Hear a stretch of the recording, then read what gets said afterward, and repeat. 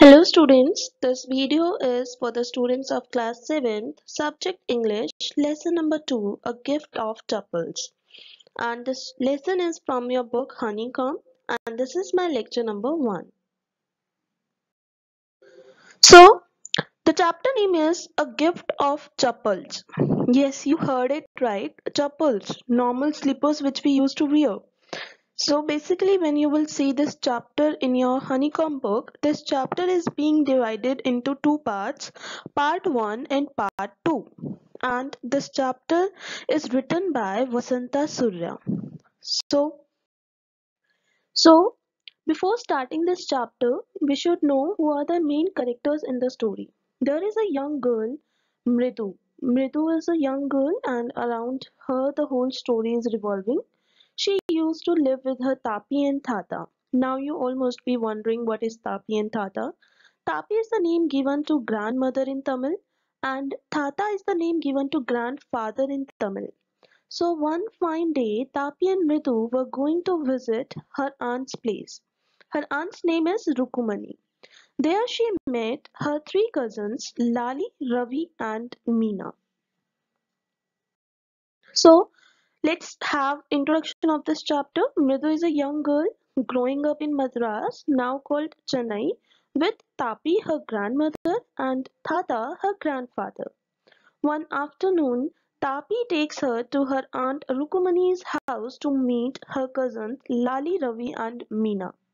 So in this chapter, we are going to so in this chapter, we will see the family meeting of Mridu, Ravi, Meena, and Rukumani there will be the introduction of chappals, children's love for animals, brother-sister relationship and behavior, and the most important, we will see the impact of the elders of the house on children.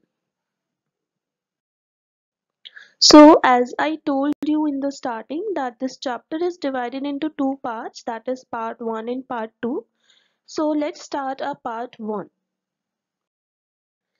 So in this part 1 we will see that Mridu goes to Rukumani's house. When she goes to Rukumani's house she saw a pair of slippers long covered with dust mark of every toe on the front part of each slipper. As you can see in the picture there is a pair of slippers which is very dusty and uh, mark of every toe is there on the front part of each slipper. Similarly, the same kind of slipper she saw on the entrance of Rukumani's house. So you have to just keep this thing in mind while moving forward that she had seen such kind of slippers.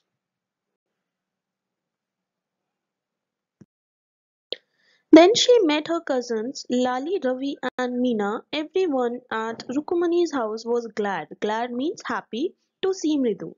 There was a thick bitter berry bush in their backyard. Ravi took her beside that. Now, when Ravi and everybody saw Mridu at their house, they all were very happy. Now, Ravi took her to the backyard and he showed something to her. There was a small little kitten. Inside a torn football, the small creature was busy drinking milk that was kept inside a half shell of a coconut. Meena informed Mridu that they had found the kitten outside their house in the morning of that day. When Mridu saw that kitten, then Meena told her that in the morning they had found the kitten outside their house and they have not told about kitten to anyone in the house and it was their top secret. But they must keep it as a secret otherwise the grandmother will leave their house immediately. Now the question arises why have they not told anyone about the kitten? Because if their grandmother would come to know about the kitten, she will leave their house immediately or as soon as possible. So Ravi was very upset that they were being taught to be kind towards animals. But when he was trying to do so, elders were screaming at them. Screaming can be shouting, shouting at them, calling the kitten a dirty creature. Now Ravi was very upset because from our childhood we all have been taught that we should take care of animals, we should love them. But when it comes to do, our elders scold us Generally, it happens with us also. Similarly, with Ravi also, he was very upset by the thought that when it comes to do, everybody is very contradict with his thoughts. So his grandmother was suspicious. Suspicious means doubt. Okay, he was uh, doubted by his grandmother while he was taking out milk for the kitten from the kitchen. So in order to just get milk for the kitten, he has to do a lot of efforts. He had to drink more than half of the milk to make her believe that it was for him. Now it was not at all easy for Ravi to bring milk for the kitten. Why? Because whenever he used to bring milk for the kitten, he has to do a lot of efforts. He had to drink more than half of the milk himself so that his grandmother would believe that milk was for the Ravi, not for the kitten. He also told Mridu that they have named the kitten as Mahendran. Yes, Mahendran is the name of the kitten. Mridu loved the name because it sounded real, unlike those you keep for the kitten. It means that Mridu loved the name Mahendran for the kitten because it was real name. It was not the names which we used to give like Tom or Jack. It was a real Mahendran name and she loved that name.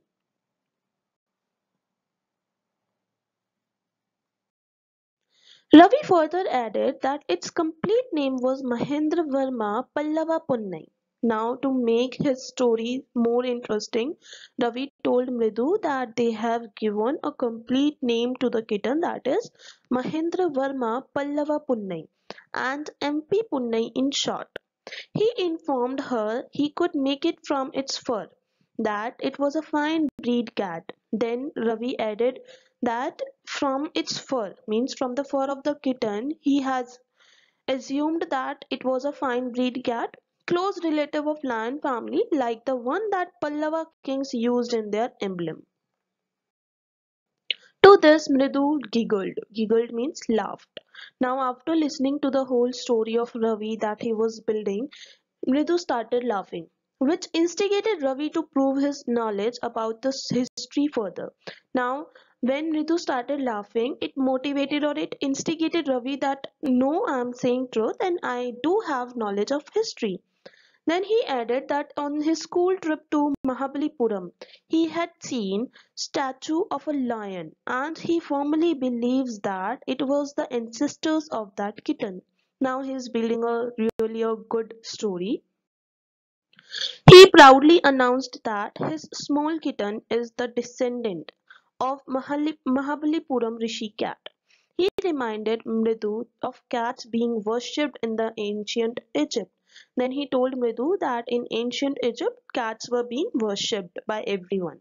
He believed it to be the descendant of cat goddess Bastet. Now Ravi was busy in making all proud announcements about his kitten when a weird sound screech came from the window. Now when Ravi was busy in telling his whole build-up story to Mridu, suddenly a sound screech came from the window. Mridu was shocked while Mahendran was frightened. Who is Mahendran? The kitten. Now Mridu was shocked and the kitten was very frightened.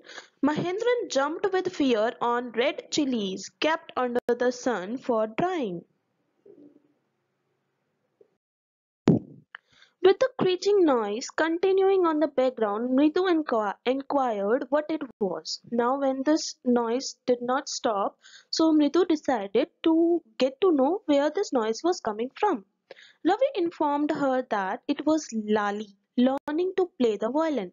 So till now Mridu, Meena and Ravi were talking. Now there was another cousin in the story that is Lali.